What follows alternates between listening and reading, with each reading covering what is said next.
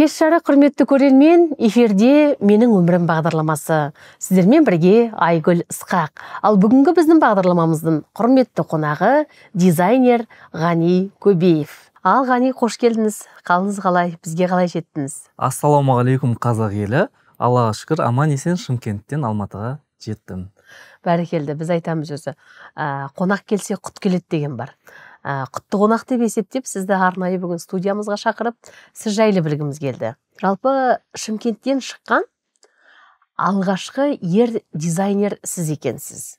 Енді осы туып өскен жеріңізден бастасақ әңгімемізді. Бұрынғы оңтүстік қазақстан облысы шымкент қаласында ә, өмірге келгенмін. Қазір 1990 жылы туылғанмын. Әлі де шымкентте тұрасыз ба?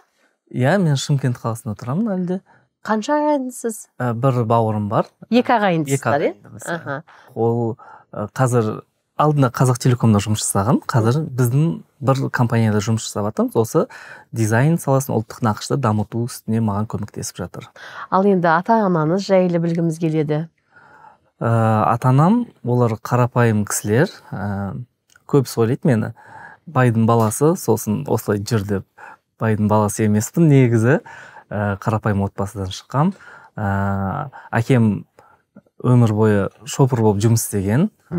Анам сауда саттықта бізді асырау үшін ә, сондай әртүрлі қызметтер жасаған. Кәсіппен айналысқан иә иә. Сауда саттық ну кәсіппен дегенде біз уже анау бұрын еститінбіз бар ғой. Үлкен кісілер біздің кезімізде мен де уже сол жасқа жетіп қалыппын ше біздің кезімізде кезінде деп айтатынға. Ол кезде бизнес деген болмаған ғой. Жаңағы ә, анам бізді асырау үшін есімде. Таңғы үште тұрып пирожки пісіріп жд вокзалға алып барып че то көңілім босайын деп жатыр. Қазір кейін айтып жүрмесін ыыы жылау ғани деп. Бізді асырау үшін жаңағы аяқтан тұрғызу үшін ыыы пирожки пісіріп сағат үште тұрып сағат төртте жд вокзалға шығып кететін. Содан обедтің бір екісінде келіп күніге сол жағдай қайталанатын күніге сол жағдай қайталанатын ә, демалыс алатын болса бізде нан жоқ уже жейтін болған жағдайлар. Ә, кішкентай кезімізде қатқан нанды жаңа тал, талқан қылып турап былай жей- жеген кездеріміз бар. Енді тек қана ондай жоқшылықта өмір сүрдік деп айтпаймын әрине. Ә, әкем біз кішкентай кезде ә, ол кезде жа- шоколадты анам айтатын шоколадтар сникерс деген шоколадтар енді шығып жатқан кездер ақшасы болмаса да бізге соны жесін жесін деп әкеліп беретін ә, әкем үйтетін себебі кішкентай кезінде тоғыз жас кезінде ә, жетім қалып кеткен менің көрмегенімді осы бала шағам көрсін деп солай өсірген бізді жалпы негізі әкеңіз өзінің қиындығын енді бала шағасы көрмесе екен деген иә. ниетпен ең бірінші шыққан затты ә, қалай да болсын тауып әкеліп беретін. Осы кешегі күнге дейін енді біздің рөліміз ә, жайлап ауысып жатыр. Яғни ә, ол кісілер осы уақытқа дейін сіздерге қызмет етті ата аналарыңыз иә енді біздің кезек. сөзіңізге қарасам Иә. сіздер енді ата анаға қызмет етіп жатсыздар. Бұл іске яғни әр ер азамат бара бермейтін жұмыс. Сән әлеміне қалай келдіңіз? айтсам қызық әрине. Сән әлеміне мен ә, шымкент әбілхан қастеев колледжінде дизайн интерьер мамандығымен оқығанмын негізі.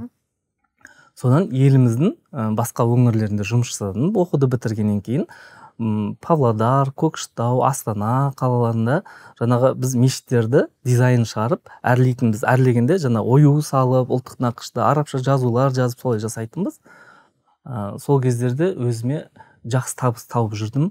Бір бес алты жыл солай жұмыс жасап жүргенде әкем айтты болды елге қайт ә, жүре бермей деп. Содан кейін елге қайттым.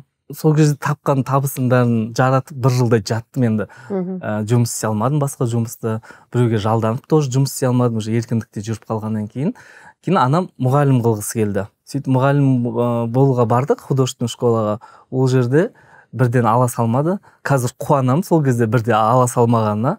Өзімнің кәсібімді бастауыма түрткі болған кез деп айтсам болады. Э, дизайн интерьер мамандығын бітіріп содан кейін қолөнерші болдым. Үйде бала кезден бисер тоқығанды жақсы көретін бизнесті в общем жетінші класста бастаған екенмін. Жетінші класста бір картинаны тоқып жүз долларға сатқаным бар тұғын Э, кімге саттыңыз оны? Бір кісі офисіне алып барып іліп қойған тұғын бисерден полный тоқылған бақыт құсы деп солай ат қойған құстың әртүрлі техникалармен тоқып бисермен өз қолыңыздан иә? өз қолымнан иә. Содан қалған заттар бар тұғын. Мен жаңа бір жыл жаттым дедім ғой үйде. Сол кезде ұлттық нақыш бізде енді дамып жатқан кез тұғын. Ә, ол кезде инстаграм енді шығып жатқан кез тұғын. Тоқыдым үш төрт ай тоқып инстаграмға просто салып қоя салдым. Содан кейін маған мынау ақтау жақтан бір кісі жазды. Осындай алқадан маған екеуін тоқып бер деді. Екеуін тоқып бердім. Кейін отыз мың теңгеге саттым оны. Содан кейін алдында тағы да материал алдым. Мен түсіндім солай ақша істеуге болатынын құр жатпай үйде еркін жүріп жұмыс істеп материалдар алып келіп бисерлер одан тоқып тоқып көбейтіп солай сатып қолөнерші болып бастап кеткен кезім бар сол кезде. Енді бұл жұмысқа ата анаңыз қарсы болған жоқ па? Бұл әйелдің жұмысы балам ер баласын мұндай жұмыспен айналыспа ер азаматқа тән жұмыс істе деген сияқты. Басында әкем қарсы болатын туысқандар не ол әйелдің жұмысы ғой қатынның жұмысы ғой дегенде былайша айтқанда ше. Әкем қарсы болды енді бетімнен қақпады бірақ қарсылығын байқап жүрдім. Мамам вообще бетімнен қаққан емес. Содан осылай бизнесті бастадым мен уже магазин тігіс тіге бастадым мен. Магазин емес тігіс машинкада курстарға барып жүрдім жеңгелерім күлетін маған. Қазір ә, күліп айтамын соларға ше. Сендердің қазір менен сол кезінде күлдіңдер шапан сатып алуға ақшаларың жетпейді ғой деймін да қазір. Майысып қалғансың қыз сияқтысың деген кездер болған. Жақында әлеуметтік желіге салған тұғым өзім қазір жеттім да күлсе күле берсін. Маған қазіргі өмірім ұнайды өзіме ше. Қалаған жағдайымды жасап жатырмын қалаған жеріме барып жатырмын келгім келген жерге келіп жатырмын маған осы ұнап тұр маған осы нан табуыма әсер етіп жатыр тігіс тіккен ешкім ә, ала жібін аттап жатқан жоқпын. Сол себепті күлгендер күле берсін жалпы айтқанда. Yeah. Иә. кезінде маған ол ауыр болатын қатты қиналатын сол айтқанда қыз сияқтысың қыз сияқты не ол еркектің жұмысы емес анау мынау деп. Мен қазір өзімді мысалы сварка істеп и бетон құйып жатқан елестете алмаймын. Өйткені мен оны жасай алмаймын да өйткені. Көйлектің түр түрін тігесіз? Көйлектің түр түрін тігеміз. Кезінде өзім бастағам ә, қолөнерші болып бастағам кейін ательелерге бөлек бөлек киімдер заказ беретін. И мен оны ә, ручной работасын істеп сәндеп сататын тұғын сөйтіп кейін өзім бір тігінші алдым екі тігінші алдым. Аллаға шүкір қазір біздің командамызда жүз адам жұмыс жасайды. Бәрекелді. Үлкен цех болыпсыздар ғой иә? Жалпы қазақша шапандарды тігу қазір трендке айналып жатыр ғой енді. Бір сөзбен айтқанда барлығымыз қазақшаланып қазақша шапан кигенді жақсы көреміз. Еріміз болсын әйеліміз болсын қазақша киініп үлкені болсын жасы болсын бұл сәндікке айналып бара жатыр. Сіз жұмыс бастаған кезде кәсібіңізді бастаған кезде бұлай болған жоқ қой? Олай болған жоқ сіз қорықпадыңыз ба сол кезде? Менің шапандарымды тек наурызда ғана киіп қала ма қалай болады екен? деген сияқты қорқыныш ой болмады ма? Ә, жалпы айтқанда менің жұмысым бұл хобби түгін қолөнерші жаңағы кесте тоқу хоббиден жұмысыма айналып кеткен өміріме айналып кетті ше ол мен өзімді ең бақытты адамдардың қатарына кіргіземін өзімді тапқан адам ретінде. Басында бастап жүргенде мен қызығатын кісілер бар тұғын ол инстаграмда көріп аида кауменова әпкемді өте қызығатын сол кісіні істеп жүрмін мен де сондай болсам ғой деп ая бапани не деген киізбен жұмыс жасайды ғой ол кісілер ше. Мен де солай бір кесте арқылы бисер арқылы дизайн шығарып дамысам деп ойлайтынмын. Бастаған кезімде мен кесте тоқып бисермен аксессуарлар істеп жүрдім бірінші. Ол кезде жайлап басталғанда мен оны бизнеске масштабқа айналып кетеді деп ойлаған жоқпын. Сіз өзіңіз хоббиіңіз ретінде иә хоббиде қарап жүрдім. ақша түссе болды деген ой болды солай жүрдім. Қарасам күннен күнге күннен күнге сұраныс кетіп жатыр кетіп жатыр и мен ательелерге заказ беретін болдым. Мен оны ателье он шақты ателье болса жаңағы маталарды апарып жеткізіп бере алмай үлгере алмай шаршап солай жүргеннен кейін мен миыма жетті. Мен лучше тігіншілерді алайын. Тігіншілерді алдым жұмыс істеттім солай солай. Қазір до того біз тігіп үлгере алмаймыз қазір. Бізде қазір ойлаймыз ғой то что конкуренция көшіреді көшіреді деп ше? Көшірсін. Біз мен қазір бір торговый центрде отқан едім. Менің жанымнан көрді тігіншілер кәдімгі европалық киімдер күнделікті тігіп жүрген кісілер. Тек қана қазақша тігетін бутиктар болып кетті ғой менің жан жағым барлығы ше. Мен оны қызғанбаймын. Ризық алладан ғой ол. Мен өзім істеп жатырмын істеп жатырмын деп ойлаймын бірақ ризық алладан. Барлығы көшіріп жатыр ол көбейгені дұрыс көбейсін деп санаймын. Жаңағы сіздің басында қойған сұрағыңыз қорықпадым ба деп? Қорыққан жоқпын. Мен өйткені оны рахаттану үшін жасайтынмын басында. Енді қарап тұрсаңыз қазір осы шапандарды жиі тапсырыс береді ма шапандарыңыз өте көп. қымбат па қолжетімді бағада ма? Бағасын айта кетіңізші. Бізде қазақстан бойынша ең арзан дизайнер сән үйі ателье емес ең арзан сән үйі ол біз қазақстан бойынша. Оны гарантия бере аламын. Шапандарымыз ең арзаны отыз бес мыңнан басталады. Әрине қымбаттары да бар. Люкс качествода сұрайтындар. Ә, жаңа арзан шапанды көріп оны вообще менсінбейтін бірақ қымбат қылып тігіп бер деп. Оны спросқа байланысты біз үш жүз мыңға шығардық қазір ол бірақ жаңағы шетелден норка келеді оған жеңіне жағасына қою үшін. Матасы кореяның қымбат маталары тастары сваровский тастар. Ол спросқа байланысты шығардық. Біз оны бірақ масштабно тікпейміз. Біздің жұмыс істеп жатқан бағытымыз қазір қарапайым халық. отыз бестен үш жүз мыңға дейін деп тұр ғой бағасы. Иә иә. Енді қараңызшы бұл жерде баға әрине шапанның сапасына байланысты жалпы материалына байланысты деп айтып жатсыз ғой. Бірақ қымбат бағада алатын клиенттарыңыз көп пе әлде? Қайта арзан бағадағылар тез өте ме? Арзан бағадалар тез өтеді. Өйткені қарапайым халық көп. Алғысы келеді кигісі келеді. Біз солар үшін жұмыс жасап отырмыз қазір негізі. Енді шымкентте ғана бар ғой сіздің қазіргі шапан шығарып отырған жеріңіз иә біз бүкіл қазақстанға онлайн доставка жасаймыз. Және алматыда мысалы жанат бақыт сән үйі бар. Бізден оптом алып сатып отырады. Ол кісілермен уже үш төрт жыл болды жұмыс жасап жатырмыз. Алматыда жанат бақыт сән үйі алып отырады ақтөбеде бар астанада бар солай солай. Бүкіл қалада бізден алып сататын оптом алып сататын кісілер бар. Күнделікті ә, бүкіл қазақстанға десек те болады. Почта арқылы курьер арқылы доставка жасап жіберіп отырамыз. Өте көп спрос. Бір бұлжымайтын өзіңіздің қағидаңыз бар екен. Яғни ол қандай киім тіксем де ол ұлттық нақышта болу керек деген ә, ниет бар екен жалпы. Осы қаншалықты рас әлде тапсырыс берген қонағыңыздың немесе тапсырыс берген кісінің ә, өзінің талабын да ескересіз бе? Талабын ескергенде бізде ә, келеді коллектив түрге. Бір еуропалық или басқа үлгіде киім тігіп бересіз ба деп. Біз айтамыз кешіріңіз біз тек қана ұлттық нақышта тігеміз. Ә, басқа ателье көп ә, дизайн үйлері көп сол жаққа барсаңыз болады деп. Кішкене бір брошкасы болсын оюмен болу керек. Біздің ұстанымымыз сондай. Ұлттық нақышқа келу керек. Жалпы сай болу керек сай дейсіз ғой. иә. Қос етек емес заманауи ұлттық стильде. Сіз жаңа айтып отырсыз ғой менің қасымнан бірнеше ә, қазақша шапандар ашылып кетті деп.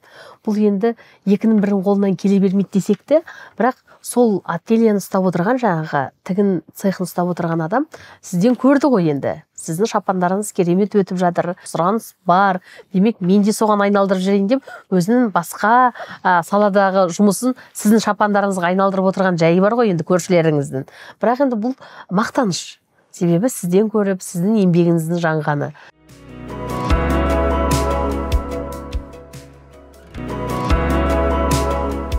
Басында ә, менде солай көшіріп бастаған кезде как будто бір менің бір нәрсемді алып қойған сияқты болатын бар ғой.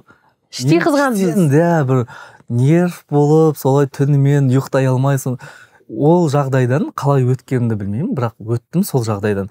Көшіріп жатса значит мен мықтымын деген сөз ғой. Мхм. мен одан да күштісін ойлап шығаруым керек деген сөз ғой. Басында қиын болған негізі ол жағдай менен күресу. Иә күресу. Еще ол кісілер менен жаңағы бізде жұмысшылар болады ғой командамызда басында бастаған кезде. Ол кісілердің айлығы бар аренда анау мынау деген бар. Мысалы біз бағамды есептеп қоямыз ғой. Ол кісі арзан қылып түсіріп қойып чтобы солай күйдіретін ғой басында бағаны ше тезірек өтсін иә тезірек өтсін енді арзанға көбісі жүгіреміз ғой шыны Иә, керек арзан болса арзан алып алайық. Иә, арзан болып тұрса ой бір екеуін алайық деген сияқты. Бірақ бұл жерде құндылық та бар ғой сапасы бар ғой.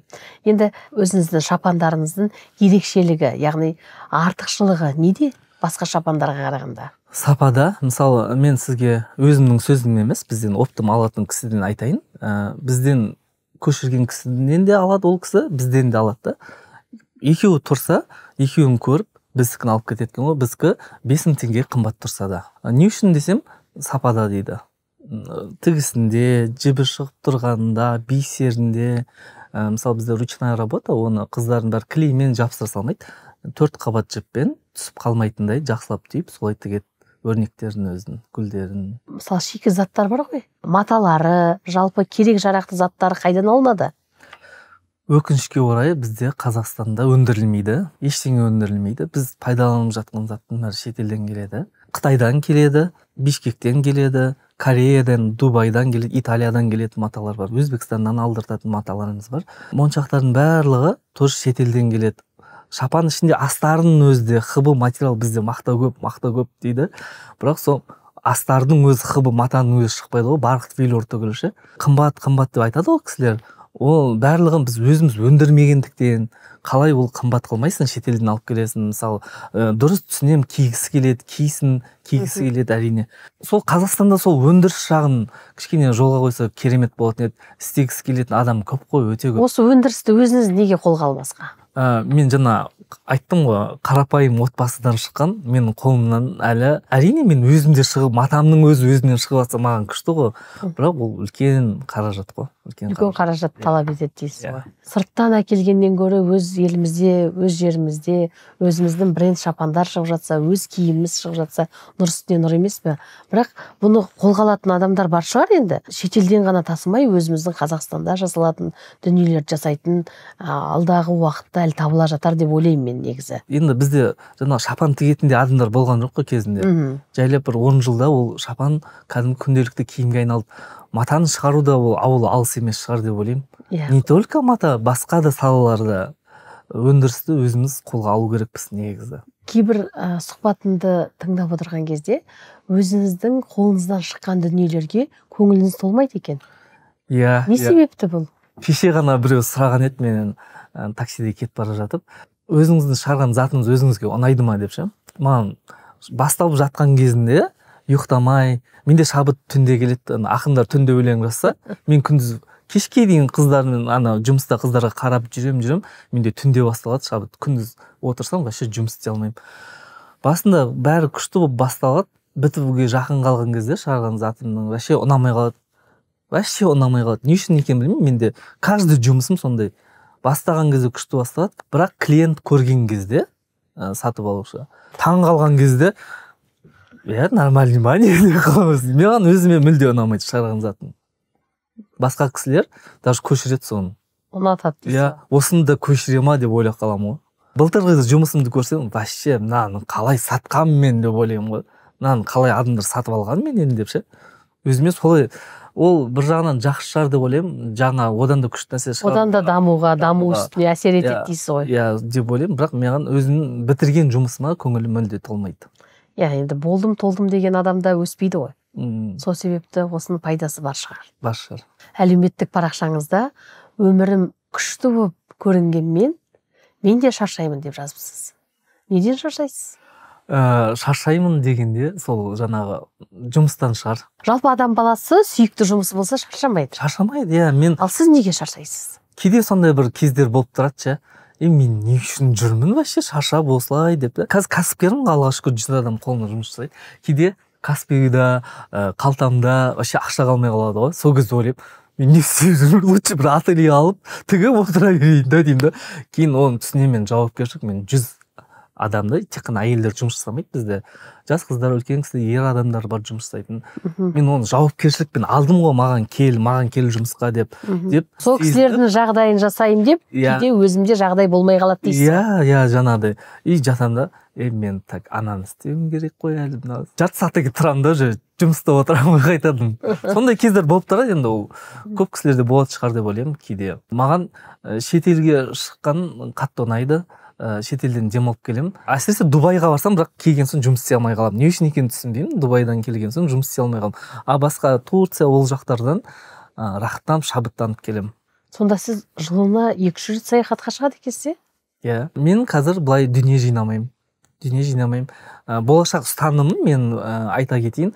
Бала шағама ә, бір қыз бір ұлым бар. Оларға болашақта білім берем. ә, болса баспана жасап берем. Байығысы келсе ары қарай байып алады өздері. Ә, байығысы келмесе жаңағы біліммен нан табуға ақша жетеді. Мхм. солай ұстанымым солай. Ә, ата анамды қыдыртқым келеді. Қыдыртып жүрмін аллаға шүкір. Ә, өзім қыдырамын қыдырғанды жақсы көремін. Ал енді өз кәсібіңізді балаларыңызға үйреткіңіз келмей ме? Ол туралы әлі ойланған жоқпын жастары кішкентай. Бір ұл бір қызым бар дедіңіз иә? Ал жолдасыңыз жайлы айта кетіңіз осы сәтте. Жолдасыңыз да тігінмен айналыса ма? Жолдасым маған тігінші болып жұмысқа келген. Аха. Бір айда екеуміз үйленіп кеттік қой маған жалпы әкем анам туысқандар 23, 24, 25 жастан бастап маған давай үйлен давай үйлен үйлен үйлен деп жүрді үйдегілер мазаны алады енді. Иә. Қартайып қалмасын дейді қыз болса. Ұл болса кешігіп иә үйленбесін жиырма алтыға толдым үйленбей. жиырма жетіге толдым. Олар айтуды қойды. Е қойшы деді сосын. Ешқандай қыз. Уже жиырма жетіге жеткен жігіт ұнатпайды ұнатпайды ғой уже. Ананың көзі үлкен мынаның құлағы үлкен деп бір өзің идеальный адам сияқты. Сөйтіп жүргенде досым ә, менің бөлек қарындасым бар соны жұмысқа аласың ба деді. Тігіс тіге алады дизайнер тоже деді сөйткен ол келсін дедім келді. Сөйткен ана қыз майысып келіп отқан кезде ұнады. Бір аптадан кейін айттым. Мен сені алсам тұрмысқа шығасың ба? деді. Ол ұялды. Жоқ деп айтқан жоқ бастысы. Мамаңа айтып бар дедім. Сөйтіп сонда кішкентай қыз ба нешінші жылғы қыз? Менен алты жас кішкентай. Мамаңа айтып бар дедім. Содан мамасына айтқан сөйтіп күліп жүріп күліп жүріп сол үйленіп кеттік қой солай. Сөйтіп кейін мен тәтті шай болды арада.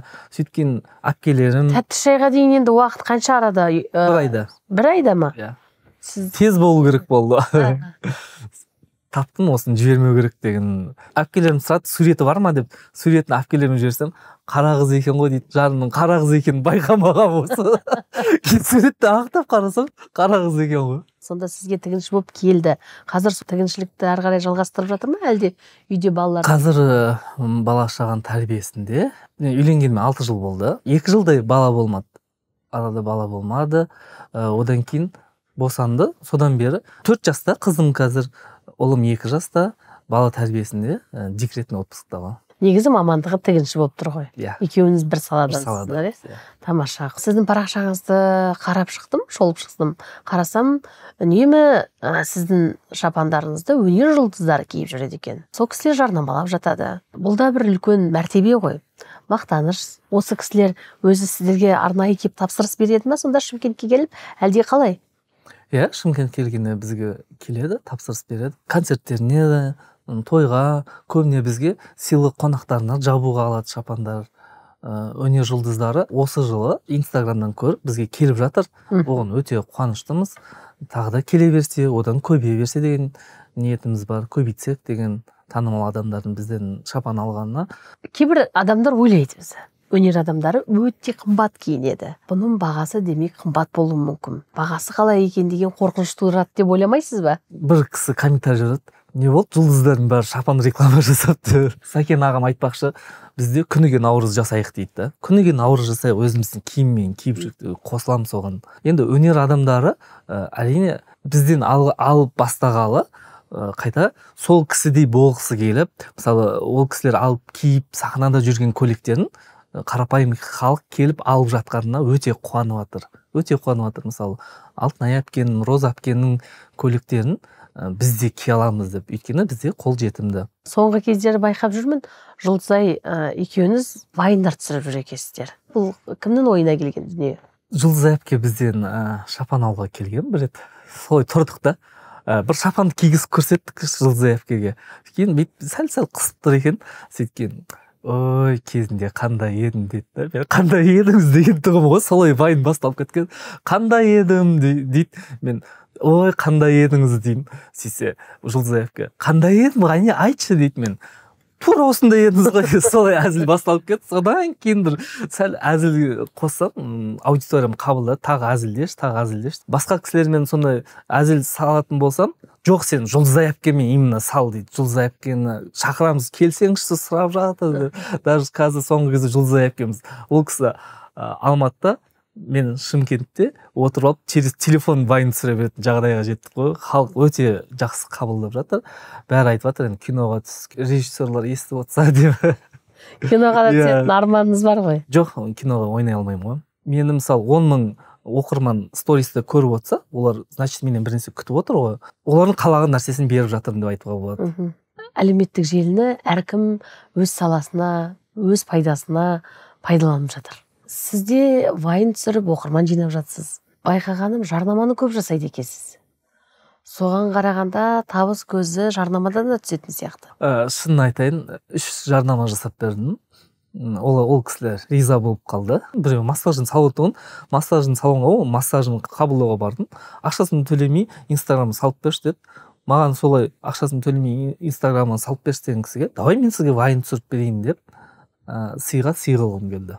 Просто сториста мен осы массажный салонға келдім деп айта салмай құрметіне құрмет көрсеткім келді солай басталып кетті. Парақшаңызда жарнама тегін ба? Ешкімнен ақша алған жоқпын. Қаңтар айында бұйырса отбасыммен ә, шетелге барайын деп жатырмын. Турагентствоға барып тур алып жатқан кезде ол кісілер айтты сторисыңызды салып беріңізші деді. Содан кейін мен де ол кісілер маған жеңілдік подарка жасап берді. Ә, тегін емес подарка жасап берді. Ішінде турлар бір нәрселер қосып давайте вайн түсіріп берейін дедім мен де. Солай болды тоже. Содан кейін жолдас балам строительный магазині бар. Ол кісі де попросить етті давай түсіріп берші деп содан кейін түсіріп бердім. Солай. Ешкімнен әлі ақша алып жатқан жоқпын. Әншілердің өзі мысалы сізге келіп жарнама жасаса да иә сатып алып тұрып мен соны көріп тұрмын сатып алып тұрып маған от души реклама жасап беріп жатқан кезінде осылай да болады екен ғой деп. Ана естіп аласың біреулерге ә, реклама жасатқың келеді жасап сұрасаң фотосессиямызға түсіп беріңізші деп бір кісіге айтсам бір миллион теңге ұшып келуім кетуім төлейсің.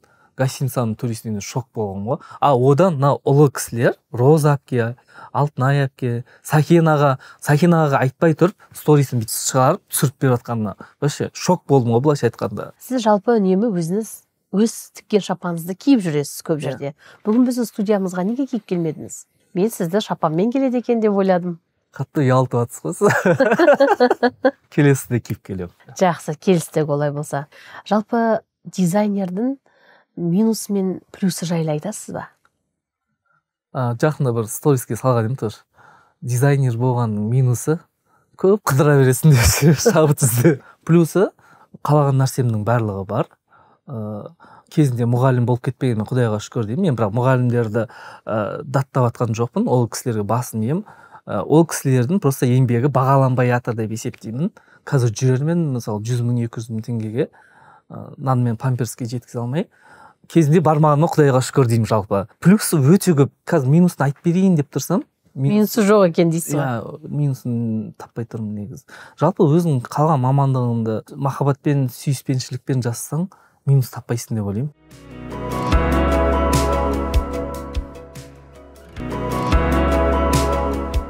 Ғани көбеев болу үшін сіз біраз жылдай еңбек еттіңіз. Қаншама жұмыс жатыр ғой бұл жерде. Осыған дейінгі еңбегіңіздің ақталғаны ғой енді ғани көбейіп болғаныма бұған өкінбеймін деп отырсыз. Yeah. Иә. дегенмен бір әттеген ай деген сәттеріңіз болды ма? Бір ақ сәт па? Инстаграмда осы инстаграм шыққан кезде бастағанмын. Сол кезде жүз мыңдай подписчикке жеткізіп қойғанмын. Кейін каким то образом мен инстаграм жүргізбей қойдым ше. Сол кезде барлығы менімен бірге бастағандардың қазір миллиондаған подписчигі бар. Мен соны кеш түсінгенмін ғой соны жұмыс істеу керек екенін ше. Сол ғана әттеген менде өмірде өмірімде ешқандай өкініш жоқ. Болу керек заттар болған. Сұхбатымыздың басында сізден сұрай бастағанда ата анаңыз жайлы көзіңізге жас алып жылағыңыз келді. Не себепті? Ата анам енді асырау үшін жүрді ғой. Мысалы жаңа айттым ғой анам таңғы үште тұрып пирожки пісіріп солай жүріп суықтап мысалы бізді асыраймын деп бір бүйрегінен айырылды да. Маған ол өте анаңыз ба? иә анам қатты батады сол. Қазір енді аллаға шүкір нормально өмір сүріп жатқанда бүйрек салып, салып бере алмайсың ғой уже ше сол менде қатты батады сол маған. Жалпы тоғызыншы класстан бастап жұмыс жасағанмын мен. Қазір өзім пысық емеспін деп ойлаймын бірақ қоршаған ортам бәрі пысықсың пысықсың дейді. Пысықтығым бәрі сол ерте жұмысқа араласқаннан шығар. Мысалы шымкенттіктерді пысық пысық дейді ғой ол жақта ерте жұмысқа араласады содан деп ойлаймын. Анаңыздың жасы нешеде? қазір елуден асты. Жақында тоже бір операция жасаттық. Аяғына астанадан ә, сол кезде бір инстаграмда ә, бір жылап қалғаным бар. Эфирге. Анамды мен өзім алып бардым. Операция істетуге кіргізді. Мені кіргізбейді ары қарай сөйтіп гостиницада жатып бір. Ішінде бір нәрсе тұр да көзімнен жас шығып кеткен сол босады ғой. Жаңағы оқырмандар менде хейтерлер жоқ айтпақшы бар ғой. Ең жақсы инстаграм менде хейтер деген вообще жоқ. Бәрі қолдап. Қошеметтеп отырады дейсіз ғой жалпы. өкініш жоқ деп дұрыс айтпаған шығармын сізге. Өкініш бар екен ғой қазір шығып жатыр сол ата анамның денсаулығы. Қазір әкем де денсаулығы уже сыр беріп жатыр осы жылы. Уақыт өте бәрібір уақыт өзінікін алады екен ғой негізі. әрине. Ә, бір өкініш сол кісілердің қартайып жатқанын көру ғой. Қайта ол бір бақыт деп ойлаймын. Кейбір кісілер ата анасының қартайғанын да көре алмай қалады иә. Жоқ андай қимаймын ше уже. Бұрынғы тез тез қимылдап жүрген мамам жоқ. Өзі жүреді өзі тұрады енді прям жатқан адам емес сондай адам жаңа өзің іштей қимайсың да. Енді ана деген ол ең асыл зат қой өмірдегі. Анаңыз бен әкеңізбен бірге тұрасыз ба?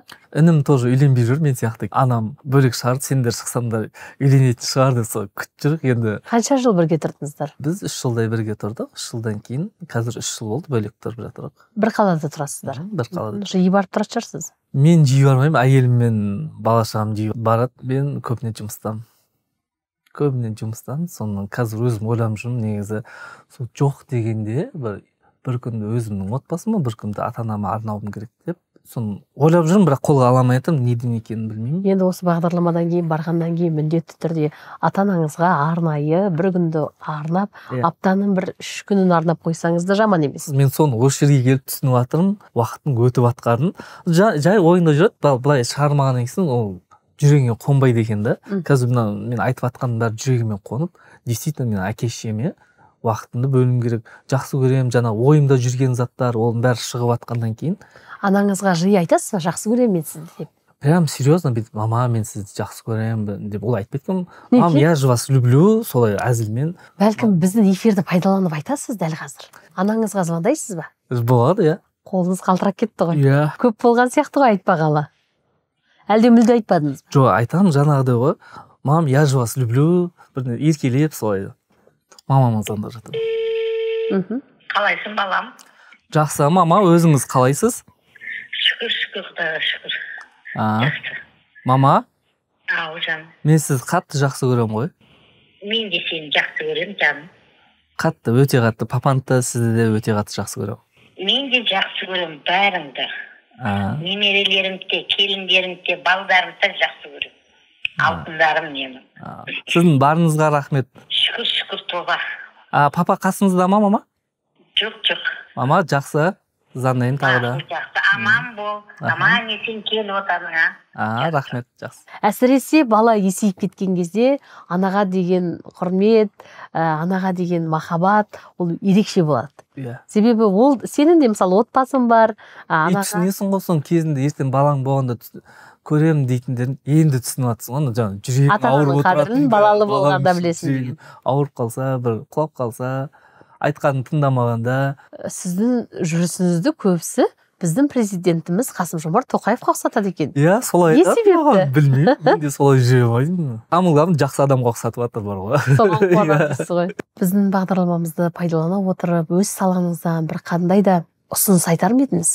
Мемлекеттік басшыларына. Менің ұсынысым біздің елдегі шикізат өндірісін қалыптастырып берсе деген ниет менде тілек менде неге біз ә, өзіміз сол түркияның қытайдың шығарып матасын шығармаймыз өңдеп жатқан терісін өңдемейміз. Бәрі біздің қолымыздан келеді ғой. Қазақ жалқау қазақ жалқау дейді. Жалқау емес жұмыс істеп жүрміз ғой барлығымыз. Істеп жүрміз.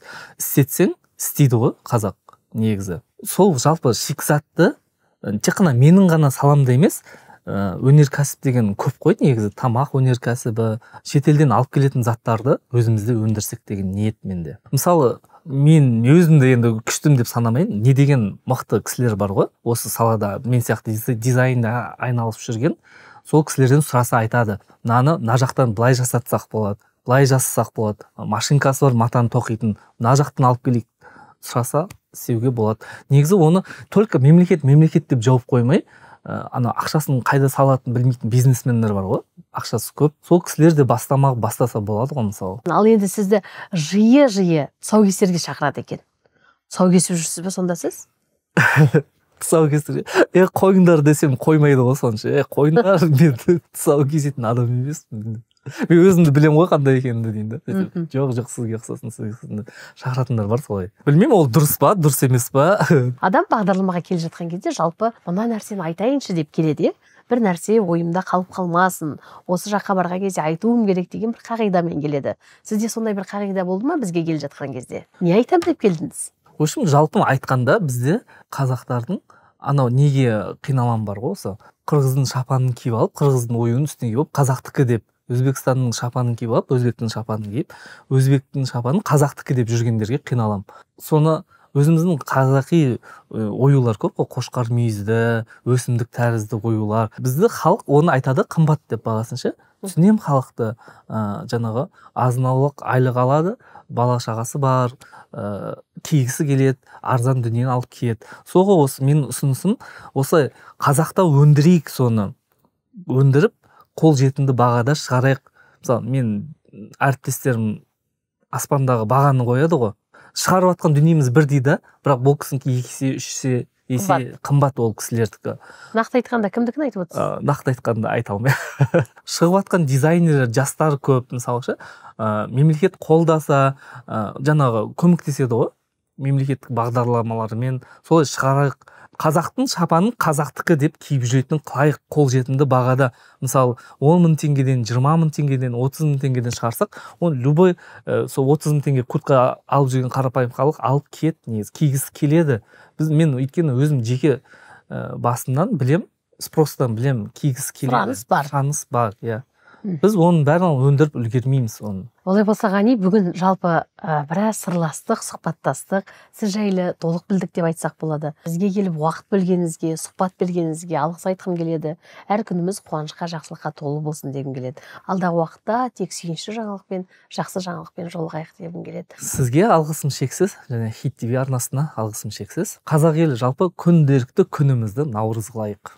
Әумин. Бір ақ тілек. Олай болса құрметті көрермен келесі сенбіде аман есен жүздескенше. Сау саламатта болыңыздар. Әр күніміз қуанышқа жақсылыққа толы болсын. Сіздермен бірге болған айгүл ысқақ.